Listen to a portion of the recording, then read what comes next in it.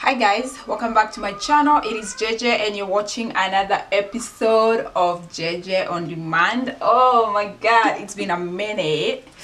But here we are. Sorry last week life happened and i disappeared on you guys but i am back today with another episode. So i i mean i like this space to be a very positive space but also sometimes i want to be real with you guys. So last week i wasn't in a space where i felt like i needed I, I was gonna be positive shooting videos. I don't know. I wasn't i was i wasn't in a very good space. So i decided not to do any shoot.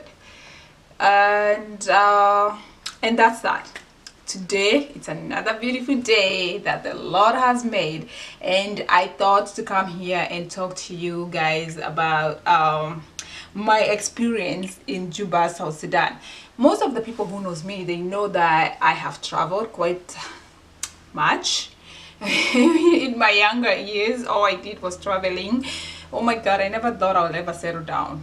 I i never thought that i'll ever no because i felt like once you settle down like life slows down which is true life slows down but it, it, it's it's nice that i i got to travel when i was younger and i have these experiences that i can share with younger people out there anybody out there who feels like they still have a need to travel. So i went to juba uh, when i think i was in my rock bottom when I was going to Juba because I I was I was jobless for quite some time in Kenya and I went to Dubai. Things didn't really work out really well.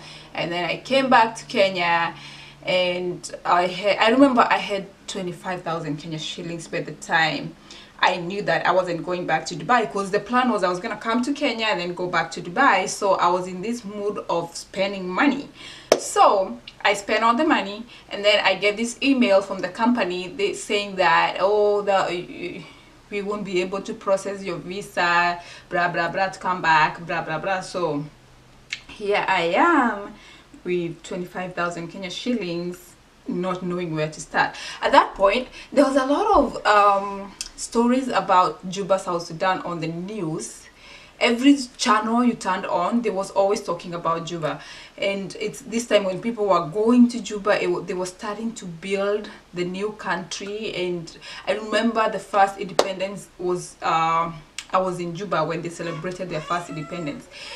Now my going to juba i did not know anybody in juba my only thing is that i am seeing people talk i mean i am seeing news people talk about juba south sudan and i said ah that I might be going there. And I, on a Monday, one Monday morning, it was just a Monday morning and I made up my mind I am going to Juba. So how do we go? I remember, okay, it's gonna be complicated to explain this. My sister's husband, sister. So my sister's sister-in-law, I told her she was also visiting from, she, she was based in Mombasa. She was visiting and I was like, I don't know how to how do people go to Juba, blah, blah, blah. And she was like, okay, going to, when I'm going to Mombasa, I always, always see these uh, buses, penye pale Tea Room. Yeah, hapo Tea Room. That's where you, you used to board a bus. And she was like, okay, we were like, okay, let's go and, and see uh, what's the process. So sisi tukaenda asubuhi, tukaenda tukabook. I remember I went that very morning and I booked and I left that night without knowing anybody whom I am going to like I didn't even know how I was gonna start life but I was like you know what? Life is all about risking. And yes Ndungu oh god I call myself my last name because at work they call me by my last name. I'm so used to calling myself that. Okay guys God mutazoea tu ama tutazoea. Mnisamehe every time nikisema jina ya baba yangu I am referring to myself so I am all about taking risks so I went and I paid I remember I paid 4500 sasa nimebaki na 21500 shillings. Kitu ingine I didn't have clothes because I had left my clothes in uh, Dubai because my plan was to go back. So tule tu kakarion kenye nilikuwa nimekuja nako kutoka Dubai. That's all I had when I went to Juba. Jioni kafika nikaenda nika nilitoka kwa nyumba kama nimekula cause i was like i have to eat cause i am not spending no money on this trip cause i don't know how much i'll be i need i need some money by the time i get there my friend. I i, I comes tulitoka hapo saa nne usiku and then tukafika i don't know i think it was naivasha like is it naivasha? I think it was naivasha or nakuru and they said we need to eat because from that point the next stop over is going to be busia watu wakatoka wakaenda wakakula i did not. And i remember the bus haikuwa imejaa. So there's a guy alikuwa amekaa mbele yangu. So he was like okay kurudi akakucheka you know you need, you need to eat something. God sometimes god bless these guys for us. Sometimes you meet good people out there. And let me tell you sometimes god align people in your life that are going to help you. You know akisikia tumbo size it's not njaa ya chakula nikienda gym I just that I haven't eaten lunch so God bless those guys for us because this guy comes to me and he's like, uh, if you haven't, if you don't eat, uh, the distance from Nakuru to Busia, it's like a distance. Nikamwambia no, miss skuli nini nini. So the guy goes out and he comes, he's two, uh, you know, akadunua chakula yake na chakula yangu. And then he sat next to me. We started talking. We realized we were both in a kind of the same situation. I'm not going to talk about his story here, but he was also kind of on a rock bottom. But the good thing is him alikuwa anachukuliwa na mtu huko Juba. He knew some lady and niye alikuwa anamchukua. Nikamwambia you know why? Huyo mwenye anakuchukua, huyo niye anatuchukua sisi wote. oh my god. God, yes. Man, if you ever get to watch this video, so we were like, yeah, we're gonna do that. I mean, what can what's the worst can happen? The only thing she can say is like apana, but at least atanisaidia ku, to know the to maneuver the way around. Lakini pia yeye, the chick was like hawakuwa wameonana kutoka primary school, so hakuwa anajua amechange aje, you know.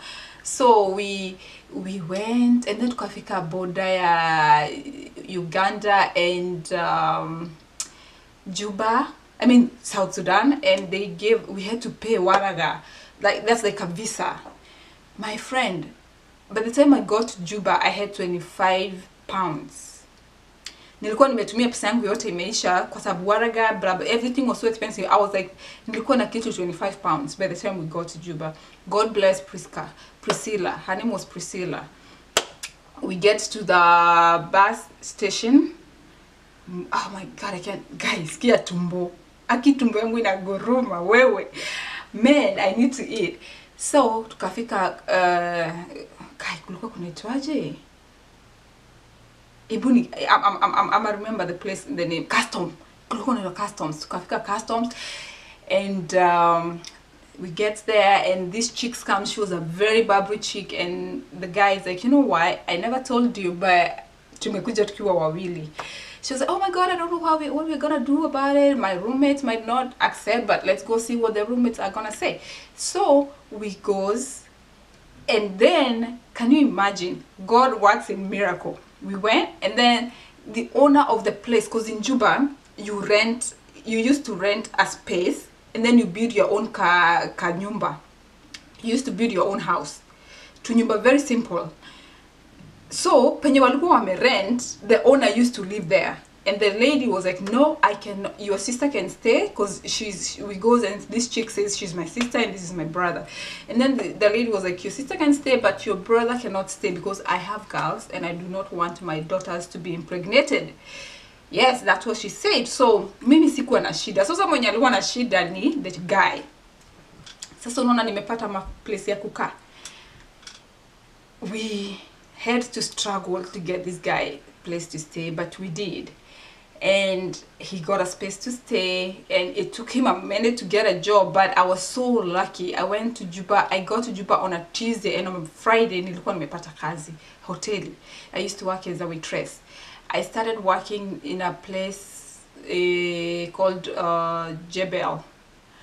The hotel's name was rock city. Those who knows they know. I used to work at rock city hotel and I worked in a place where my boss was a cuckoo one. Alikuwa anaamka siku moja akiamka akifikiria kush, kushoot guns, alikuwa anafanya hizo vituko zote. He was a cuckoo person but my experience is it's funny it's funny that i have traveled all these places but my experiences in juba was a very very cool experience i mean i i i wouldn't change anything juba was a blessing to me i i made money and i met very cool people in juba and I I had a very good experience man. I had a good experience. I I loved working as a waitress but I didn't stay there for so long because now I had dropped all my CVs to these cool, cool nice places nice hotels and I did get a better you know option so nikatoka kwa sababu Rock City was in a very reserved it's not very reserved but ilikuwa mbali na watu like the people that I knew. I used to do uh, they used to give you accommodation and everything. So I got myself a- another job at another place karibu sasa na hawa watu wenye tulikuwa karibu. But the thing about Juba is the fact that I, I feel like I think people were real. People really wanted to see you know they people really wanted to see you prosper like ulikuwa unaona watu walikuwa na lilia- lila- liliania. Is yeah. People were really concerned about their friends and their you you people had unity. And that's i loved that. Like ulikuwa unaona watu wanapatana pale hivyo hapo kwa hiyo mama. Kuna mama fulani aliwangana anatuzianga mukimo and i remember she didn't like it like seeing me there cause alikuwa zile za you know what? I don't, I have a daughter your age.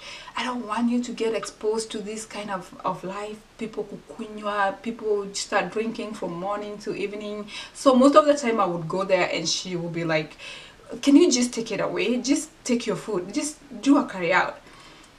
And you could tell people were really concerned about people's welfare unlike other places where i have been to. So I had a very I had a very good experience in Juba. I met cool people. I met people who really cared for their fellow Kenyan brothers and sisters. I met Ugandans who really cared for their fellow Kenyan friends. I still have like I still keep contacts with the people the friendships that I made in Juba because them people were cool. The funny part was man, Mimi and my colleague, she was a Ugandan. We used to get in trouble all the time with with the with the with the Sudanese guys. Like, and Mimi sikuwa nachapwa. Her name was Tina. Like, do you know people who have bad luck? Do you know people? I used to say to that bad luck.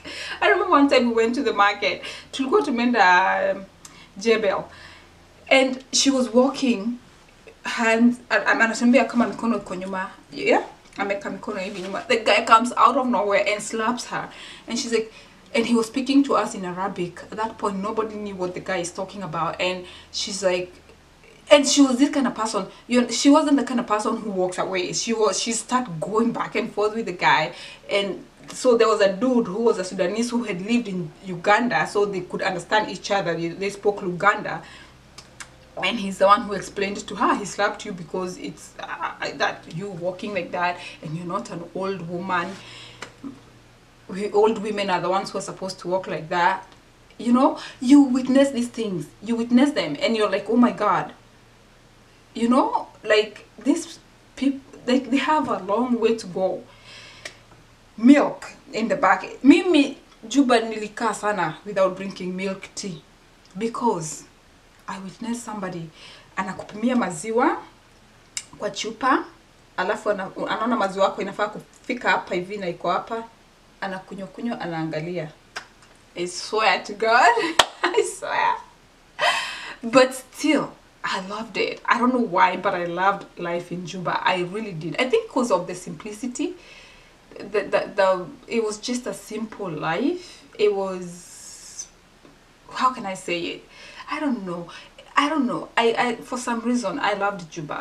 I did and i would want to go back and see how the place looks like now. I was there for two years i think two and a half years and from juba now i came to the us and i I would I would want to go back there. And I I always say there's always that place you go to and that's where your breakthrough happens. Mine happened in Juba. After I went to Juba, I had breakthroughs from left, right, and center. And by the time I was going there, I was so, I was rock bottom. Like, nilikuwa if you have traveled outside the country, you know when you goes back home, a lot is expected of you. And when that doesn't happen, you feel like you're a failure or you have let your people down. So that's how I felt when I came back from Dubai. I felt like, oh my God, I have let my people down. Where am I even gonna start? You don't even have money to get yourself an apartment, to get yourself, you know, your life back together. Where are you going to start looking for a job? It was difficult. It was difficult. But the, the minute I made that decision to going to Juba, that's when the breakthrough happened. And I I always tell people if you have something you feel like in your mind like you're so positive you want to do it go ahead and do it. You never know maybe that's your breakthrough. Because if and one more thing i never told my family that i didn't know anybody who was gonna host me because they would have said no no no. I know my, mostly i always uh, try to avoid scaring my family or making them being in a situation where they're worried. So even when i was going i was like oh yeah somebody's waiting for me yeah i have a friend of mine who's there. A job is aligned for me so y'all don't worry. Everything is i don't know i always feel like that that burden. I, I don't like being a burden to my family. Am i just blabbering here? I just i just wanted to share that. I just wanted to share my experience in juba because i told you guys we're gonna be talking about life experiences and that that's that's my going to juba it's a part of me. It's a, a part that i have made who i am today and I like to I, I thought I should share that with you guys. What's that one risk that you have taken and you feel like it was worth it or it wasn't worth it? Please share with us. Leave a comment and let us know. I will be ending this video right here. And if you have not subscribed please go ahead and subscribe. I can't even say the word subscribe no more. See once you don't shoot a video once these things before you come back to them it takes a minute. Okay please people good people people of good heart go ahead and subscribe to my channel. Watch my videos to the end. Like and share. Please help a girl grow the channel. Thank you so much for watching. Until next week. Bye